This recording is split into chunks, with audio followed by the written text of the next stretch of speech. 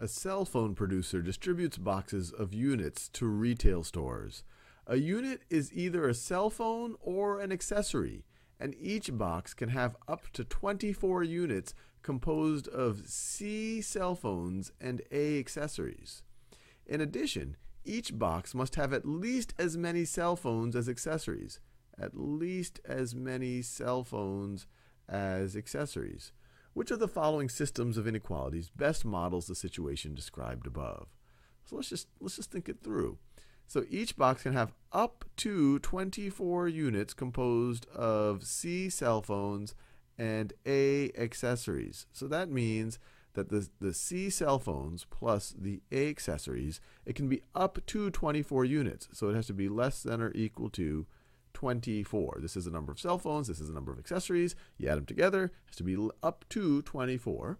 And then they tell us, and then they tell us right over here, each box must have at least as many cell phones as accessories. So the cell phones have to be greater than or equal to the accessories. All right, those are the constraints. So let's see which of these choices match them. So this one says 24 is less than or equal to a plus c.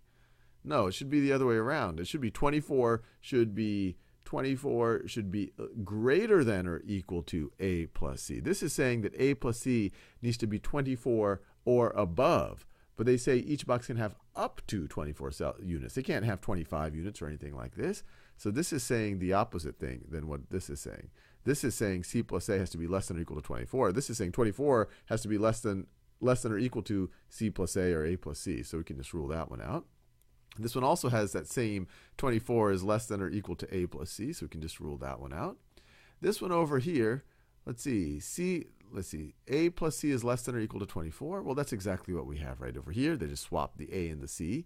A plus C is less than or equal to 24.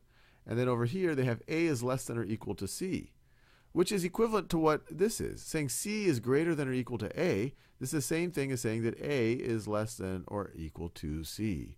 So this is the choice I'd go with.